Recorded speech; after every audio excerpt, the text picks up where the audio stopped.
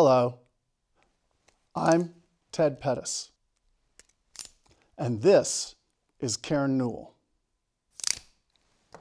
We can follow the skeleton from the head down the vertebral column to the sacrum, which articulates with the hip bones to form the pelvic girdle.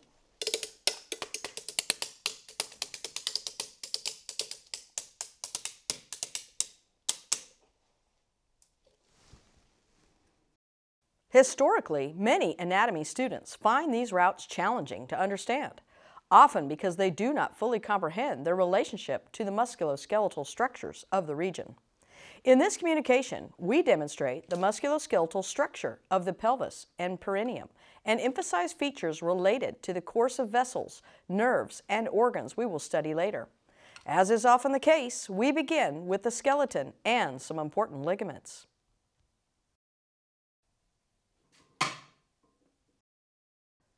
The hip bone is composed of three bones, the pubis, the ilium, and the ischium.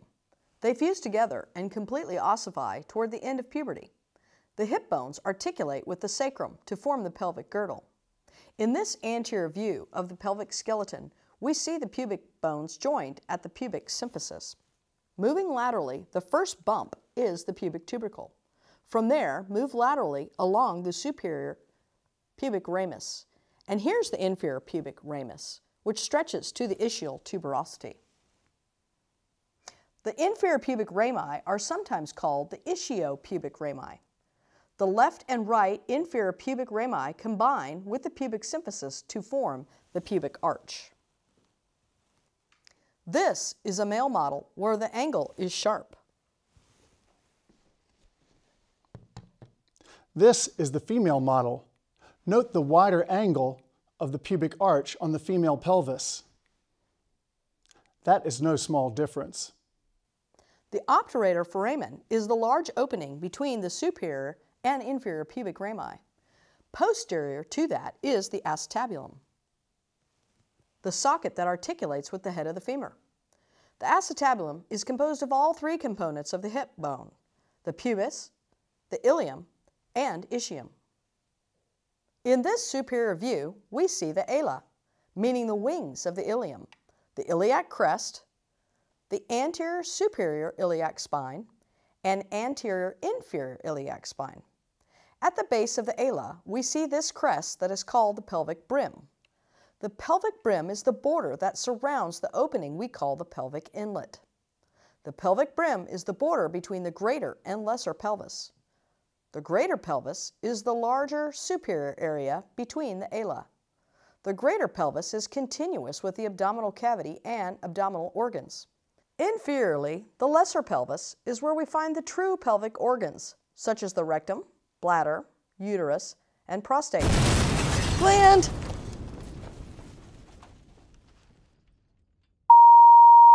In the posterior view, we see the posterior superior iliac spine and the posterior inferior iliac spine. We also see the ischial spine and the ischial tuberosity. The greater sciatic notch is between the posterior inferior iliac spine and the ischial spine. The lesser sciatic notch is between the ischial spine and the ischial tuberosity. Take a moment to review these important structures. We will be building upon them in the next few moments. Note the sacrospinous ligament. The sacrospinous ligament runs from the sacrum to the ischial spine. Above the sacrospinous ligament, we see a foramen, the greater sciatic foramen. In other words, the ligament turned the notch into an important foramen that you need to know and identify. Inferiorly, we see the sacrotuberous ligament between the sacrum and the ischial tuberosity. Note the lesser sciatic notch is now the lesser sciatic foramen between the ligaments. When we study the course of nerves and arteries of the pelvis, these foramina will be very important. On your skeleton, identify the anchors for these ligaments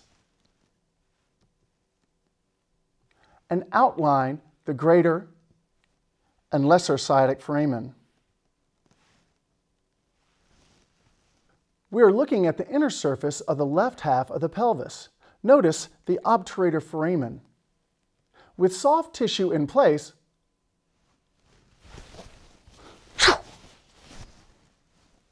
the obturator foramen is covered by a muscle, the obturator internus. The muscle attaches around the border of the foramen and covers the opening. See the obturator internus forming part of the lateral wall of the pelvis.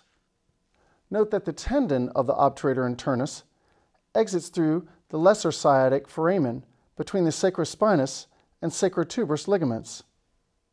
The obturator internus muscle is covered by a membranous fascia called the obturator fascia. Two specialized structures are formed by modifications of the obturator fascia.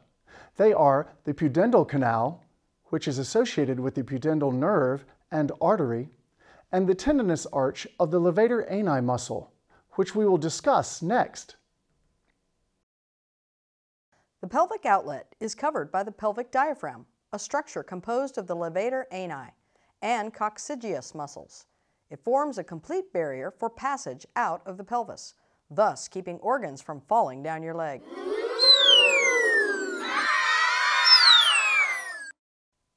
The pelvic diaphragm is shaped like a parachute that is attached around the lateral wall of the pelvis. It hangs like a bowl formed by soft tissue.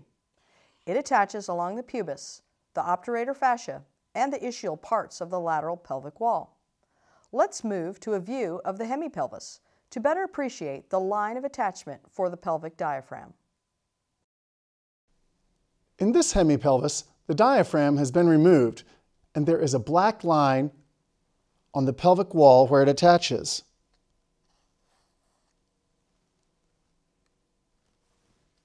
The levator ani muscle attaches along the pubis, obturator fascia, and ischium. Pay special attention to the attachment across the obturator fascia, or the fascial membrane covering the obturator internus. The obturator fascia thickens to form the attachment for the levator ani called the tendinous arch of the levator ani. It is also often called the arcuate tendon of the levator ani. The other component of the pelvic diaphragm, the coccygeus muscle, stretches from the ischial spine to the sacrum. Here. What other feature has those same attachments Nope. Anyone else? That's my pizza. Close. It's the sacrospinous ligament. The coccygeus is deep to the ligament and is part of the pelvic diaphragm. The pelvic diaphragm is the border between the pelvis and the perineum. Anything superior to the pelvic diaphragm is in the pelvis or the pelvic cavity. Anything below the pelvic diaphragm is in the perineum. In this inferior view, are we looking at the pelvis or perineum? Perineum.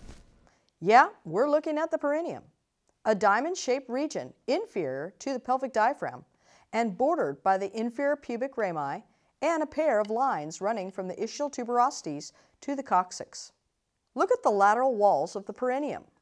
You see that part of the lateral wall is formed by the obturator foramen, which with muscles in place is the location of the obturator internus muscle. We're looking at the obturator internus inferior to the attachment of the pelvic diaphragm.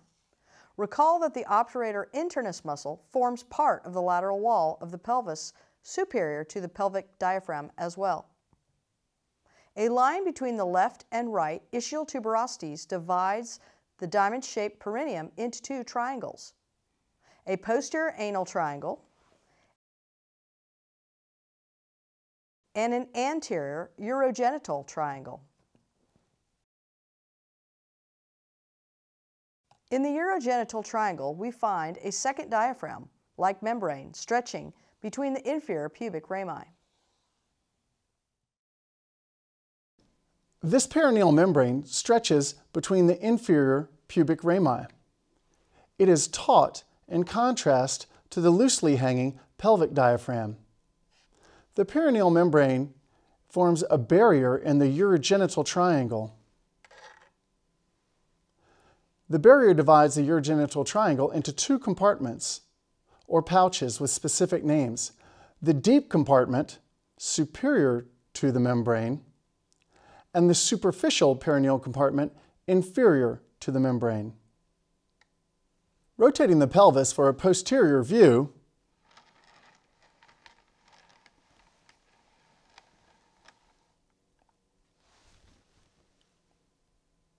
we can see that the deep perineal compartment is between the perineal membrane and the levator ani muscle of the pelvic diaphragm.